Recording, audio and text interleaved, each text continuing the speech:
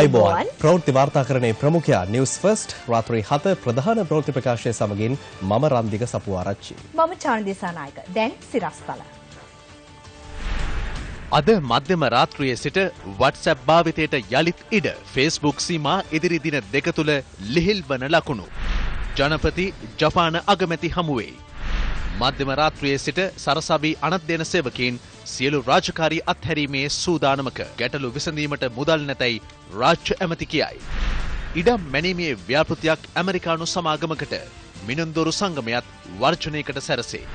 බිම්මට්ටම ජයගත හැකි නායකත්වයක අවශ්‍යතාව එක්සත් ජාතික පක්ෂ පළාත් සභා මන්ත්‍රී ටීවීගේ ගාමිණී කියයි.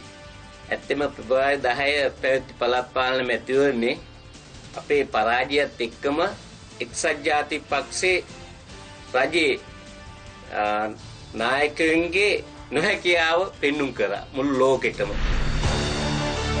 ජපානයේ නිල සංචාරක නිරත ජනාධිපති මෛත්‍රීපාල සිරිසේන මහතා අද එරට අග්‍රාමාත්‍ය ශින්සෝ අබේ මහතා හමු වුණා.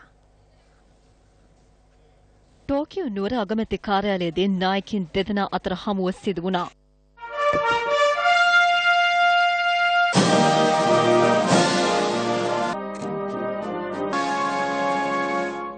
මෙහිදී ද්විපාර්ශවික කරුණු ගණනාවක් පිළිබඳව සාකච්ඡා කර තිබෙනවා. ජනාධිපති ගරු මෛත්‍රපාල සිරිසේන මහතාගේ ජපාන නිල සංචාරයේ වැදගත්ම අවස්ථාව සටහන් වුණේ අදයි. රාජ්‍ය නායකින් දෙපළගේ සාකච්ඡා වටේට විශේෂයෙන්ම විෂය වුණේ ආර්ථික කරුණු කාරණා රසක් පිළිබඳවයි. එම සාකච්ඡා වටයන් තුලදී ශ්‍රී ලංකාව තුළට දැනට පවත්නා ජපානය ශ්‍රී ලංකාව තුළ පවත්නා ආයෝජන අවස්ථා තවදුරටත් ඉදිරියට ගෙන යාම සහ අලුතින් ආයෝජන අවස්ථා ඇති කර ගැනීම ප්‍රධාන වශයෙන් විෂය වුණා. ඒ වගේම තමයි මේ සාකච්ඡා තුළදී නැවත වරක් ජපානයේ සහ ශ්‍රී ලංකාව අතර පවතින දේශපාලනික හා සංස්කෘතික කාරණා රැසක් සාකච්ඡා කෙරුණා. මේ සාකච්ඡා තුළින් වඩා ඵලදායී තත්ත්වයන් ඇති කර ගැනීම සහ දෙරට අතර පවතින ද්විපාර්ශ්වික මිත්‍රත්වය ඉහළ නංවා ගැනීමට රාජ්‍ය නායකයින් විසගත්තා. මේ අතර ජනාධිපතිතුමා අද පෙරවරුවේ ටෝකියෝ නුවර ශිනගාවාහි පිහිටි නවීන අපද්‍රව්‍ය කළමනාකරන මධ්‍යස්ථානයේ නිරීක්ෂණ චාරිකාවක නිරත වුණා.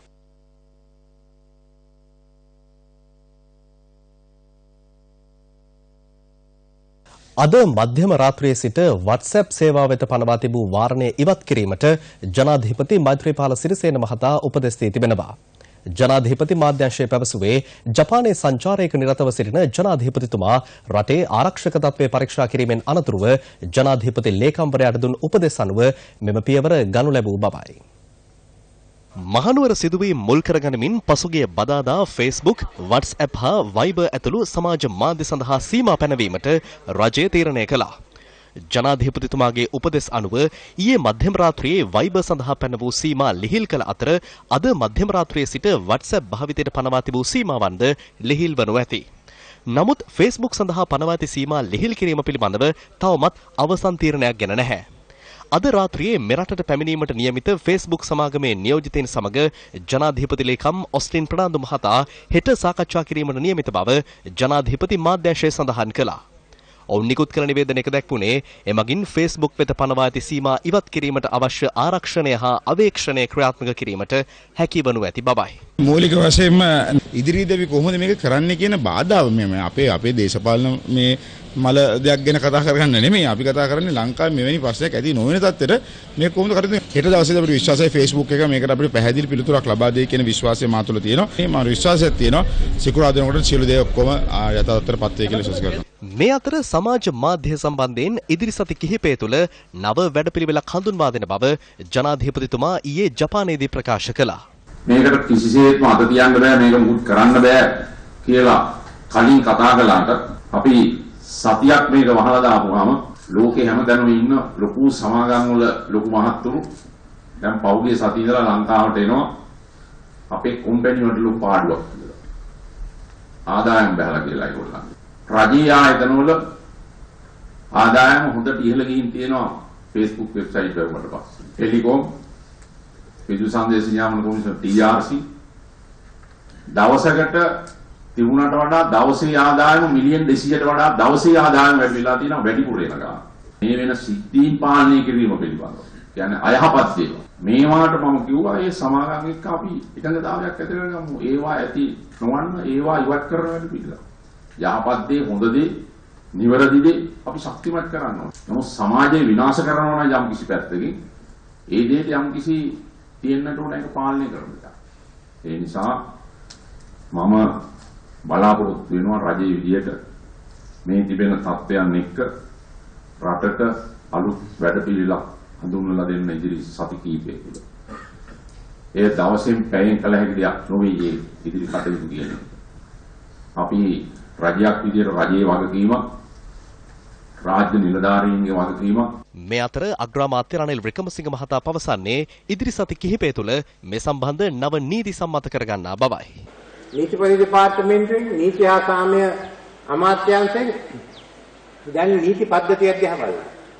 ඉංගලන්තේ වාගේ රටවල් වල වෛර කිරීමේ නීති තියෙනවා. ඒ එහෙනම් මේ නීතිය කොහොමද ලංකාවට ක්‍රියාත්මක කරන්නේ? අපි දැනට ක්‍රියාත්මක කරන්න ජාත්‍යන්තර දේශපාලන සිවිල් හා දේශපාලන අයිතිවාසිකම් සම්මුතිය ලංකාවේ ක්‍රියා කරන නීතිය විතරයි. දෙවනුව සමාජ අඩවිය සෝෂල් මීඩියා එක පාලනය කරන වගකීම් පවරන නීති ජර්මනිය සම්මත කරලා තියෙනවා. ෆිලිපීන්ස් රටේ සෙනට් සභාවට දැනට කෙටුම්පතක් ඉදිරිපත් කරලා තියෙනවා. කිනියාවේ විශේෂයෙන්ම TRC සංවිධානයේ ඒ පිළිබඳ රෙගුලාසි නිකුත් කරලා තියෙනවා. අද තියෙන නීතිය බලපාන්නේ මුද්‍රිත මාධ්‍යයයි විද්‍යුත් මාධ්‍යයට පමණයි. සමාජ මාධ්‍ය ජාලයට බලපාන්නේ නැහැ ලෝකෙ කොහෙවත්. මේවත් අනික් නීති දිහා බලලත් ඒ අදාළ නීති සකස් කරන්නට නීතිපති දෙපාර්තමේන්තුව ක්‍රියා කරනවා. ඒ නිසා අපි බලාපොරොත්තු අපේ බලාපොරොත්තුව Facebook එක තහනම් කරන්න නෙමෙයි ඒ සමගම ඊළඟ සති කිහිපය තුළදී අදාළ නීතිත් සම්මත කරගත්තා. අද රටේ ප්‍රධාන මාතෘකාව Facebook වාරණය කිරීම. එසේත් නැත්නම් සමාජ ජාල වෙබ් අඩවි වලට පිවිසීමට ප්‍රේක්ෂකයන්ට ග්‍රාහකයන්ට නරඹන්නන්ට නැත්නම් ඒ පිළිබඳ භාවිත කරන්නන්ට අවස්ථාව අහිමි වීම. මේ නිසා නායකත්වයේ සිට පහළ දක්වාම මේ සාකච්ඡාව තිබෙනවා. ඔබ දන්නවා ලෝක ජනගහනය බිලියන 7 ඉක්මවනවා. Facebook සමාජික සංඛ්‍යාව ලෝකයේ බිලියන 2.7 ඉක්මවනවා. මේ නිසා ශ්‍රී ලංකාවේද මේ සමාජ ජාල වෙබ් අඩවි පරිභෝජනය කරන්නම් එසේත් නැත්නම් පරිහරණය කරන්න අතර බරපතල කතාබහක් නිර්මාණය වී තිබෙනවා.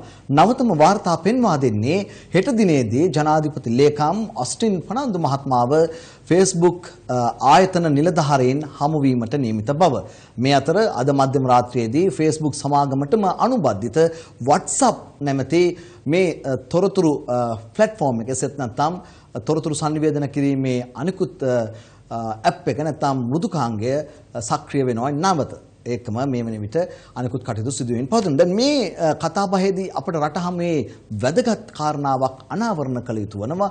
ඒ තමයි ශ්‍රී ලංකාවේ මේ කටයුත්ත සිදු කිරීමේදී හෙට පවත්වන සාකච්ඡාවේදී මේ පරිගණක විශ්ලේෂකයෝ සහ විද්වතුන් විද්‍යාර්ථීන් පරිපාලකයන් අවධානයට ලක් කළ යුතු විශේෂත්වය. ඒ තමයි දැන් Facebook, WhatsApp, Viber කෙසේ නමුත් මේ සමාජ ජාල වෙබ් අඩවි ඔස්සේ යනකොට අපිට විශේෂයෙන්ම කියන්න පුළුවන් මෙන්න මේ කාරණාව Facebook පිටුවේ සමාගම පැහැදිලිව ආරක්ෂාව කියන වගන්තිය යටතේ ඔවුන් පැහැදිලිව පෙන්වා දෙන වගන්ති කිහිපයක් තිබෙනවා. එහි හත්වෙනි වගන්තියේ පැහැදිලිව ඉංග්‍රීසි භාෂාවෙන් දක්වා සිටිනවා ඔවුන් වෛරී ප්‍රකාශන ඊට අමතරව තර්ජන හා බලපෑම් අසභ්‍ය දර්ශන ප්‍රචණ්ඩත්වය වර්ධනය කරන කාරණා සම්බන්ධයෙන් දර්ශන ගැටුම් සම්පූර්ණයෙන්ම මේ ආරක්ෂාව යටතේ Facebook සමාගමට වාරණය කරන්න පුළුවන් කියලා. සමහරක් වෙලාවට සිංහල භාෂාවෙන් හෝ දමිළ භාෂාවෙන් කිසියම් ජන වර්ගයක දරුවන් සමූල ඝාතනය කරනවාය කියලා කිසිවෙකු ඉමේජ් එකක් ඡායාරූපයක් පළ කළහොත් එය සෙන්ස කරන්න, එය වාරණය කරන්න Facebook සමාගමට කොහොමද පුළුවන්? හැබැයි ඔවුන් පුළුවන් තරම් ඉක්මනින් ලියාපදිංචි කරපු ගෙවපු නිර්මාණාත්මක අයිතිය තිබෙන සින්දුවක් එහෙම නැත්නම් ඔවුන්ගේ රූපයක් වෙනත් කෙනෙක් ලබා ගතහොත් වෙනත් කෙනෙක් විකාශය කළහොත් ටක් ගාලා වුන් වාරණයට ලක් කරනවා. දැන් මතු කළ යුතු කාරණාව වන්නේ මෙන්න මේ කාරණාව පදනම්ව ඔවුන් කටයුතු කරනවා නම් ශ්‍රී ලංකාවේ මේ කටයුතු සිදු කිරීමට Facebook සමාජිකයන් ශ්‍රී ලංකාවේ සිටිනවාද? ඒ සඳහා මෙකැනිසම් එකක් එහෙම නැත්නම් යම් ආකාරයක ක්‍රමවේදයක් ශ්‍රී ලංකාවේ නැහැ. එමනම් හෙට සිට අපි හිතමු සිකුරාදා Facebook නැවත යථා තත්ත්වයට පත් වූ අය කියා. එසේ වුවහොත් ඒ වන අවස්ථාවේ සිට නැවත මේ මොවුන් පෙන්වා දෙන මේ ක්‍රියාකාරකම් පාලනය කිරීම සඳහා අවම කිරීම සඳහා Facebook සමාජිකයන්ට ශ්‍රී ලංකා රජය දැනුවත් කළ යුතු වෙනවා කොයි විදිහටද ඔවුන් ශ්‍රී ලංකාවේ ඔවුන්ගේ නියෝජිතයෙක් හෝ නියෝජිත කණ්ඩායමක් පිහිටුවලා ඔවුන් යටතේ මෙය පාලනය කිරීම. විශේෂයෙන්ම ඒ ක්‍රියාමාර්ග ගැනීමේ අවශ්‍යතාවයක් තිබෙනවා නැසෙත් නැත්නම් නැවත රජයට පුළුවන් විවිධ හේතු හොවා දක්වමින් මෙය වාරණයකට ලක් කරන්න. මේ තමයි සැබෑ තත්ත්වය අපි බලාපොරොත්තුවෙන් සිටිනවා මේ ආකාරයෙන් වැදගත්ම කරුණු කාරණා සම්බන්ධයෙන් හෙට සාකච්ඡාවේදී අවධානයට ලක්විය යුතුයි කියලා. නැත්නම් නැවතත් ප්‍රශ්නය තීව්‍ර වන්නට පුළුවන්. අපි නැවතත් ඔබ මේ ආකාරයෙන් දැනුවත් කරන්නට අපේ ප්‍රවෘත්ති ප්‍රකාශනයේදී බලාපොරොත්තු වෙනවා. ජාතික සංහිඳියාවේ වැදගත්කම අනාවරණය කරමින් අද නුගේගොඩදී පාගමනක් පැවැත්වුණා. මිරිහාන පොලිස් ස්ථානය අසලින් ආරම්භ වූ සාම පාගමන නුගේගොඩ ගුවන් පාලම දක්වා ගමන් කළා. මේ අවස්ථාවට සර්ව ආගමික නායකයින් මිරිහාන සහ මහරගම පොලිස් නිලධාරීන් ඇතුළු පිරිසක් එක්ව සිටියා.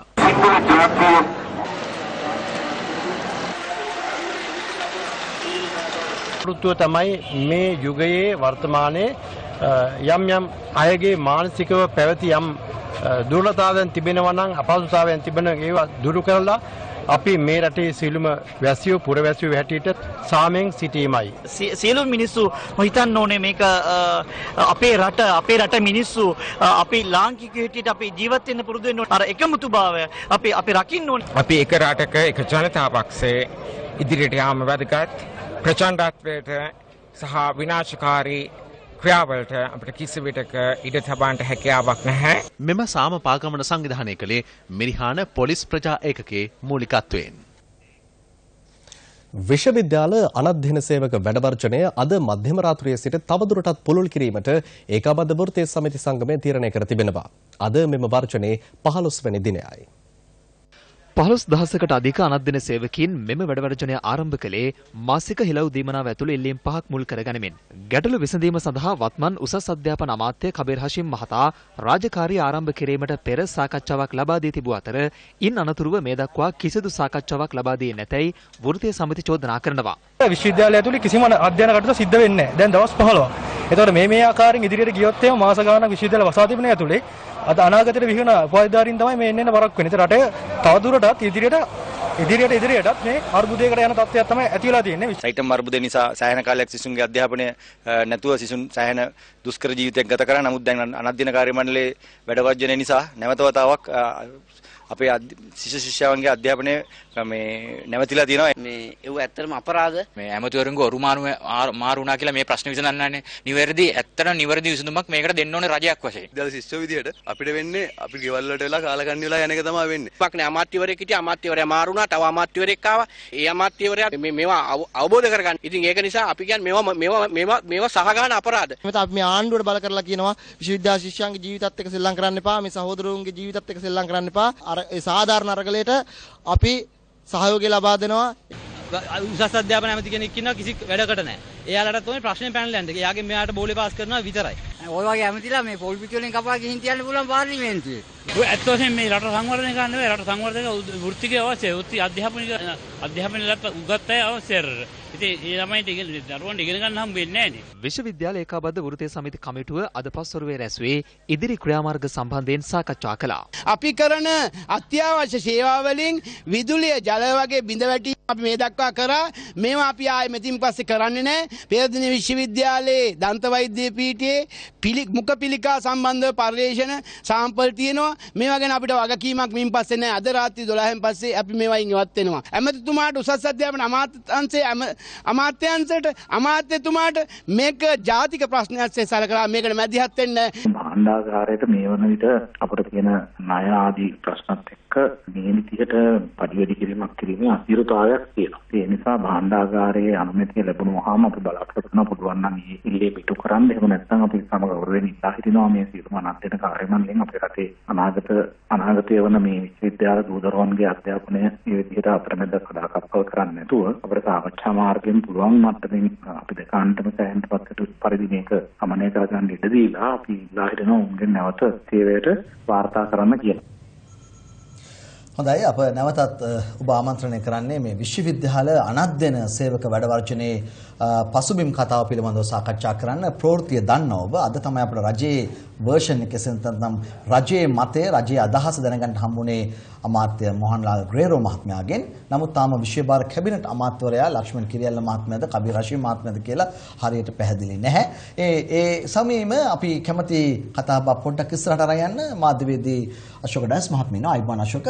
අශෝක මේ ඇකඩමික් නොන් ඇකඩමික් එසෙත් නැත්නම් අනධ්‍යයන අධ්‍යයන මේ විශ්වවිද්‍යාල කොහොමද මේක බෙදෙන්නේ? මේක හරි වැදගත්. ඔව් මේක මේක පැහැදිලි කරගන්න ඕන. දැන් විශ්වවිද්‍යාලවල ඉගැන්වීමේ කටයුතු වල දෙන ඒ කියන්නේ දේශන පවත්වන මේ පිරිස අධ්‍යයන කාර්ය මණ්ඩලය ආචාර්ය මහාචාර්යවරු. ආචාර්ය මහාචාර්යවරු ඒ වගේම විශ්වවිද්‍යාලවල පුස්තකාලාධිපතිවරුන් සහකාර පුස්තකාල මේ ඇතම් කණ්ඩායම් ඒ අයත් වැටෙනවා අධ්‍යයන කාර්ය මණ්ඩලයට. ඉතින් මේකේ විභේදනයක් තියෙනවා.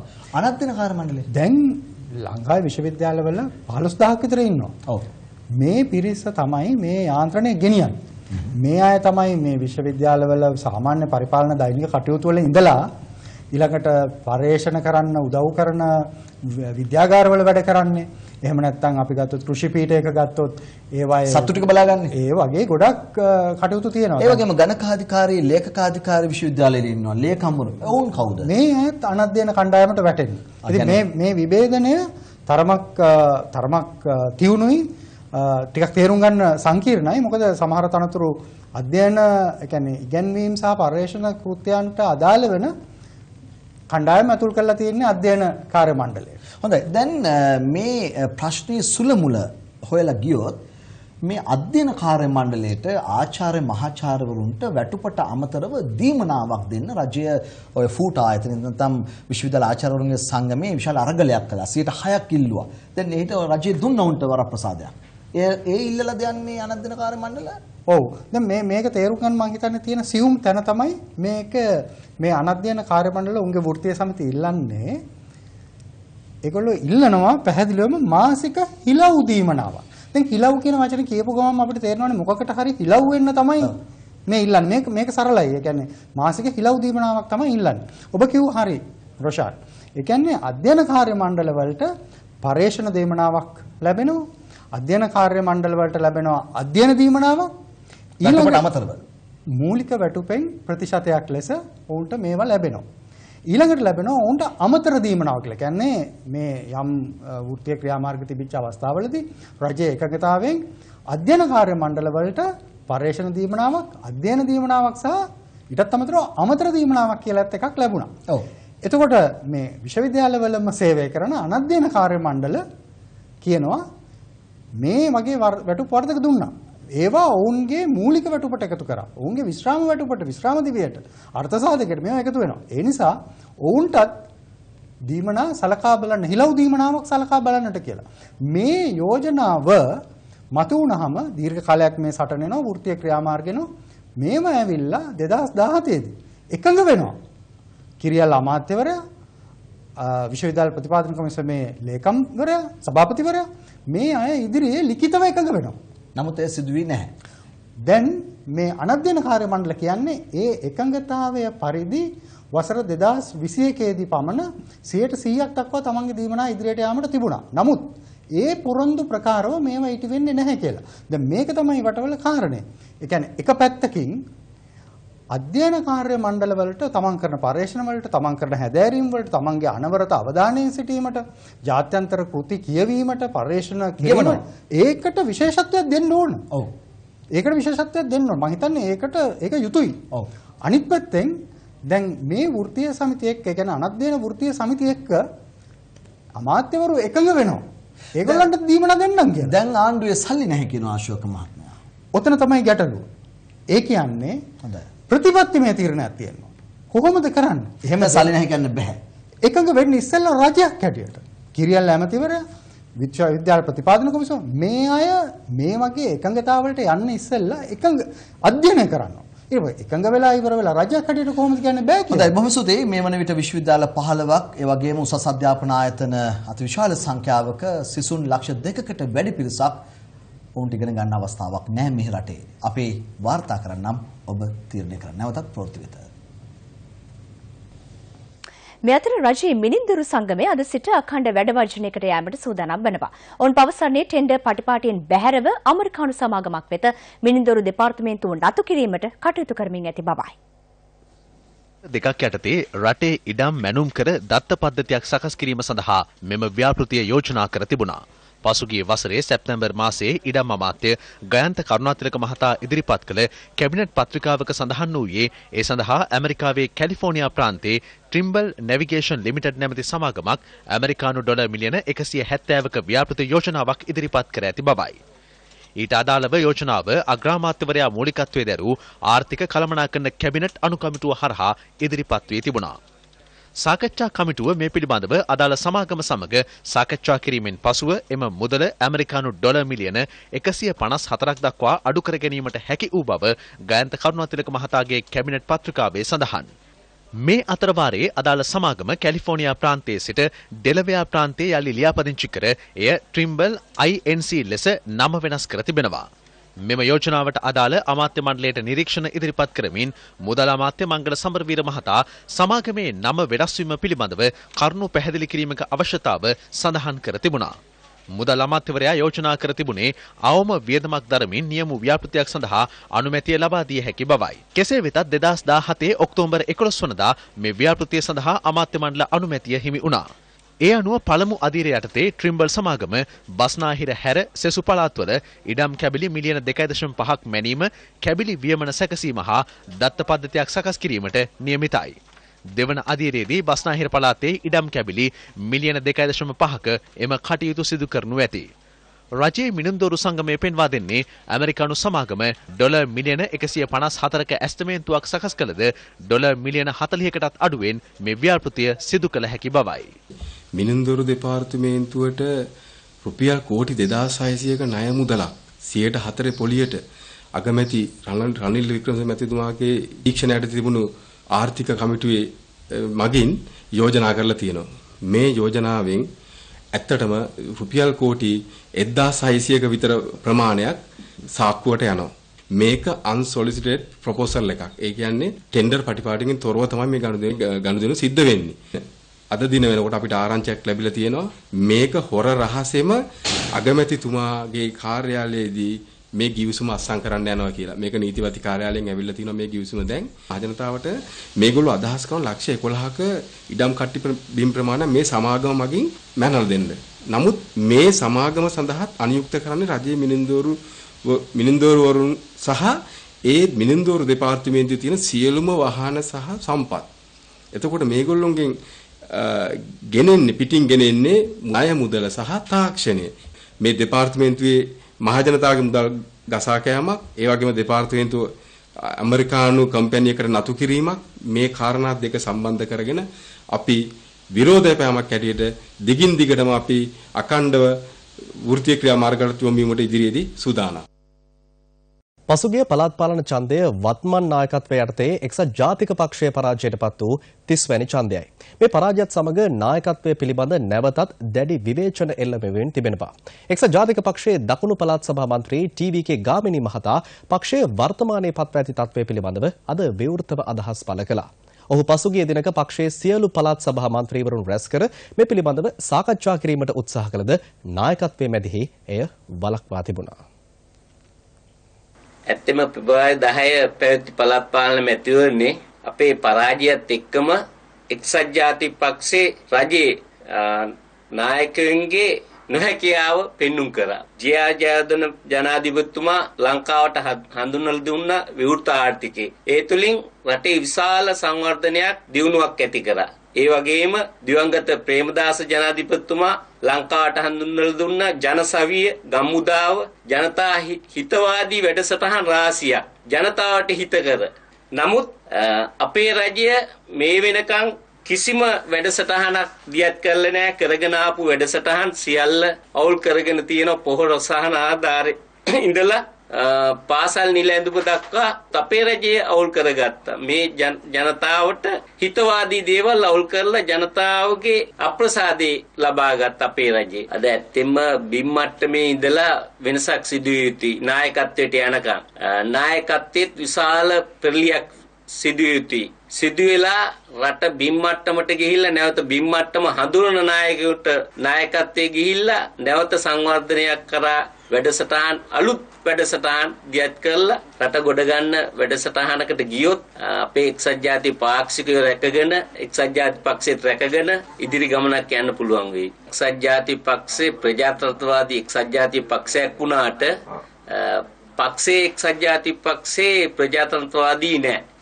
යම් කෙනෙක් අරගල කරොත් එතුමට වෙන්නේ පක්ෂය හැරලා යන්න පක්ෂෙන් ඈත් වෙන්න. මේ තුල තමයි ඇත්තටම මේ සිදුවීම් වෙන්නේ. අනිත් එක මේ නායකත්වයේ ගන්න ඉන්න පුද්ගලයොත් නායකත්වයේ ගන්න හදන්නේ අ, බලල්ලක් දාලා. ඒක තමයි මේකේ ප්‍රධාන නායකත්වයේ ගන්න කට්ටිය නායකත්වයේ ගන්නවා නම් පෙළ ගැසෙන්න ඕන තරම් කට්ටිය ඉන්නවා. පෙළ ගැසිලා නායකත්වයට යන්න හයිය තියෙනවා. නමුත් ඒ දෙයට අද ඉදිරිපත් වෙන කට්ටිය නැtei කියන එක තමයි කියන්න තියෙන්නේ. මේ අතර ගම් මට්ටමින්ද එක්සත් ජාතික පක්ෂයේ නායකත්වය හා ජ්‍යෙෂ්ඨීන් විවේචනය කරමින් විවිධ විරෝධතා මතුවෙමින් තිබෙනවා. පළාත් පාලන ආයතන සඳහා අපේක්ෂකෙන් නම් කිරීමේදී සිදුව ඇති අක්‍රමිකතා පිළිබඳව අදත් ස්ථාන කිහිපයකදීම විරෝධතා මතුවුණා. මහර ප්‍රාදේශීය සභාවට එක්සත් ජාතික පක්ෂය සභිකින් පත් කිරීමේදී වැඩි ඡන්ද ලබාගත් පිරිස වෙනුවට ජනතා කැමැත්ත අඩුවෙන් ලැබූ පුද්ගලයන් පත් කර ඇතැයිද අද මාධ්‍ය හමුවක් ඇඳවමින් පිරිසක් චෝදනා කළා. අපි එක්සත් ජාතික පක්ෂයේ නායකයන්ගෙන් අහනවා අපිට මෙවැනි අසාධාරණකම් කරනකොට අපි නායකයන්ගෙන් ඉල්ලීමක් කළා මේක සාධාරණීකරණය කරන්නයි කියලා නායකයෝ මේ වනතුරු මේකට අහුම්කම් දුන්නේ නැහැ. දෙන්න අපි 20 වෙනිදා වෙනකම් බලාගෙන ඉන්නවා. 20 වෙනිදායින් පස්සේ අපි ලංකාවෙම මේ අසාධාරණයට ලක් වුණු සියලුම ප්‍රාදේශ සභා හිටපු മന്ത്രിවරු, සභාපතිවරු සියලු දෙනා ගෙනල්ලා අපි සිරිකොත ඉස්සරහා දැවැන්ත සටනක් කරනවා. ඒ වගේම උපවාසයක් ආරම්භ කරනවායි කියන පණිවිඩය අපි දෙනවා එක්සත් ජාතික පක්ෂයෙන් මෙහෙම කෙනෙහිලිකම් කරනවා නම් අපිට තවත් පක්ෂයේ තියා ඉන්න පුළුවන්ද කියන සැකය අපිට තියෙනවා. ඒකින්ද අපි වෙන පක්ෂ වලට අරින්න එපා. නායකතුමනි, ලේකම්තුමනි අපි වෙන පක්ෂ වලට තල්ලු කරන්න එපා. මේ පක්ෂය දිය දියරලා අරින්න එපා. මේ අතර කඩුවෙල මහනගර සභාවට එක්සත් ජාතික පක්ෂයේ සභිකින් නම් කිරීමේදී සිදුව ඇති අසාධාරණයට විරෝධය දක්වමින් නවගමුව පත්තිනි දේවාලයේදී දේව කන්නලව්වක් සිදු කෙරුණා. මහනගර සභාවේ විපක්ෂ නායක ප්‍රියන්ත පද්බේරිය මහතා ඇතුළු පිරිසක් ඊට සහභාගී වුණා.